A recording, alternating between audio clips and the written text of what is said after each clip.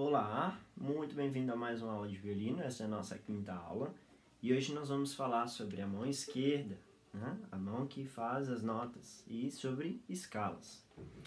Um, na última aula nós falamos sobre produção do som, então se você praticou bastante, você já sabe tirar som do violino. E isso é muito importante porque começa a ter graça tocar violino quando a gente junta as duas coisas, o arco e a mão esquerda, Uh, nós aprendemos também a postura correta para segurar o instrumento. E se você praticou bastante e sabe segurar muito bem o instrumento agora, com uma boa postura, e principalmente se você consegue segurar o instrumento sem a ajuda das suas mãos, tá bom? É muito importante que você chegue a esse ponto para que sua mão esquerda fique livre o mais relaxada possível. É muito importante nesse momento, uh, quando a gente fala de postura, não só a mão do ar e o nosso corpo, mas a nossa mão esquerda também. Também é possível desenvolver lesões e também travar o nosso desenvolvimento no instrumento se nós tivermos uma mão esquerda dura, tá bom? Então é importante que você segure bem o seu instrumento para que você possa tocar de maneira mais relaxada, tá bom? Sem precisar segurar o instrumento. É muito comum, né? Quando não se não está com uma boa postura aqui, querer segurar o instrumento assim com, com essa mão, né? Ou dobrar o pulso assim. Bom, aparece de tudo. Então, precisa prestar bastante atenção. Né? Como que nós fazemos? É bem simples. Eu vou me virar aqui. Um, dessa forma. Coloque sua mão na barriga e de maneira natural, da, da mesma maneira que sua mão fica na maior parte do tempo, se você deixar ela do lado da sua perna, apenas deixe ela levantar e vire a face da sua mão para fora. Né? Se o seu violino estiver aqui, você vai virar, levantar e virar a mão, né? Ela estava assim, você vai virar assim. Vai colocar o polegar. Ah, eu coloquei algumas marquinhas aqui. eu imagino que o seu violino deve ter. Se você não tem essas marquinhas e você está começando a tocar, é interessante que você tenha. É lógico que mais para frente essas marquinhas não existem. O violino é um instrumento que não tem trastes, não tem referência como no violão ou no piano, tá bom? E o objetivo é tocar sem essas marquinhas. Mas essa referência visual é muito importante no início. Caso você não tenha, fale com seu professor. Tudo bem? Bom, se você está com suas marquinhas aí é, no lugar certo, é importante, né? O seu professor vai fazer isso para você. Coloque o seu polegar na primeira marca e deixe os seus dedos caírem naturalmente, ok? Pode experimentar, encostar na corda, certo? E como que acontece? O que que vai acontecer aqui? Quando eu faço isso, eu não posso deixar os meus dedos assim e nem assim, tá bom? Eu não posso colocar minha mão aqui e afastar os meus dedos. Se o meu cotovelo estiver lá para trás, não vai funcionar. Eu preciso deixar aqui, tá bom? Para que eu consiga tocar sem nenhum problema, sem nenhuma dificuldade. Então olha só, tem um espacinho, vocês podem olhar aqui, vai diminuindo, entre o espelho, que nós vimos lá na primeira aula, e a corda.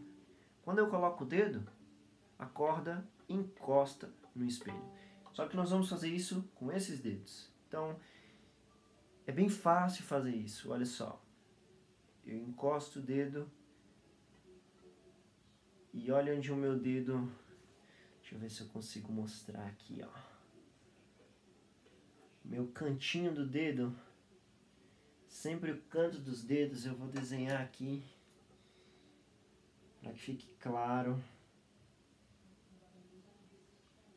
Olha só. Sempre os cantos dos dedos, nunca o centro ou o outro lado. Porque se eu tocar dessa forma, né?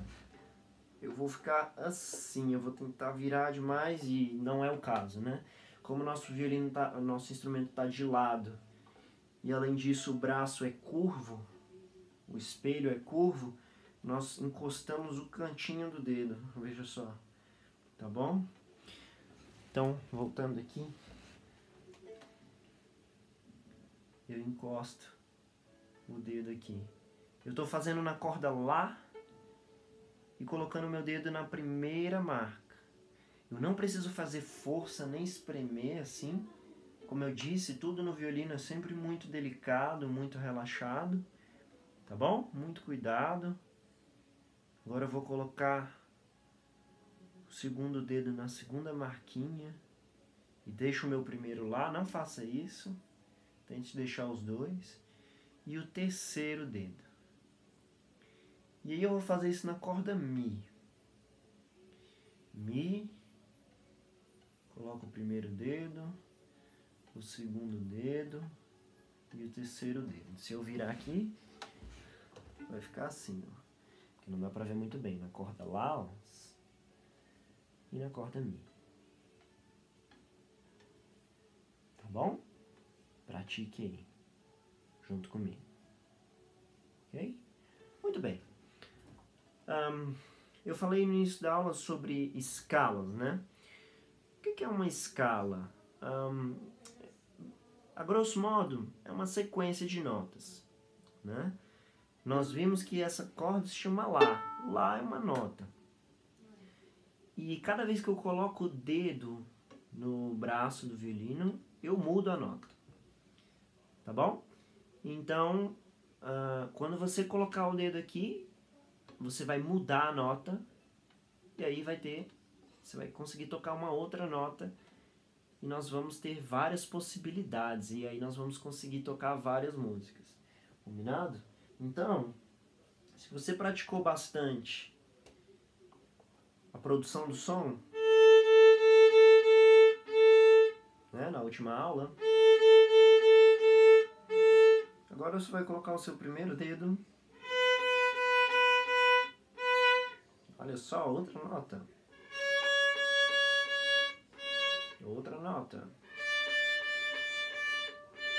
E como se chamam essas notas, né? Um, você não precisa entender isso agora, mas todas as notas que eu vou falar aqui fazem parte da escala de Lá. Se você colocar os seus dedos na marquinha, na corda Lá, desse jeito, e na corda Mi, Observe que a primeira marquinha é distante da segunda e a segunda é próxima da terceira, tá bom? Portanto, não coloque seu dedo afastado. Outra coisa, quando você estiver olhando aqui, pode parecer que, a, que não dá para ver muito bem, e é assim mesmo. Às vezes não dá para ver muito bem. Quando você colocar o dedo em cima, a marquinha vai desaparecer. Tem que ser assim, tá bom? Então vamos aprender as notas. Lá, depois do Lá vem o Si. Depois do Si vem o Dó, Dó sustenido. Depois nós vamos entender a fundo isso. O Ré. Depois nós temos o Mi, que nós já aprendemos, é a corda solta. Fá sustenido, ou Fá simplesmente. Sol sustenido, Sol e Lá. Mais uma vez. Lá, Si, Dó, Ré, Mi, Fá, Sol, Lá. Vou tocar toda a escala com a variação A, a variação do chocolate quente, ok? Vamos lá.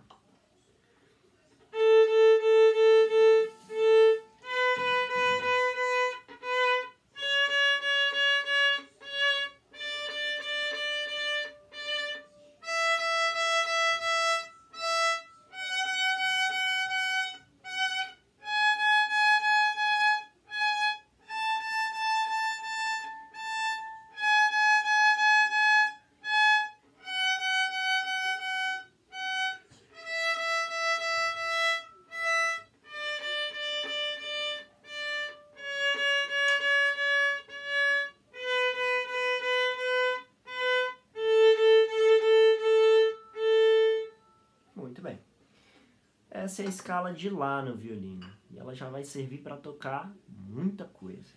Tá bom? Então agora o próximo exercício tente fazer a variação A bem devagar e colocando um dedo de cada vez.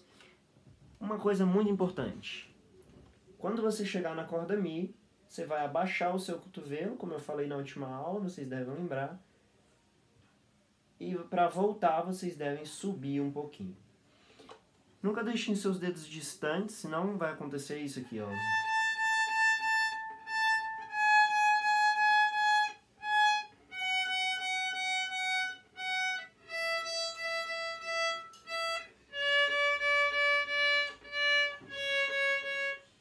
O que aconteceu?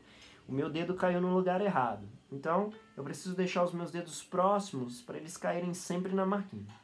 Combinado?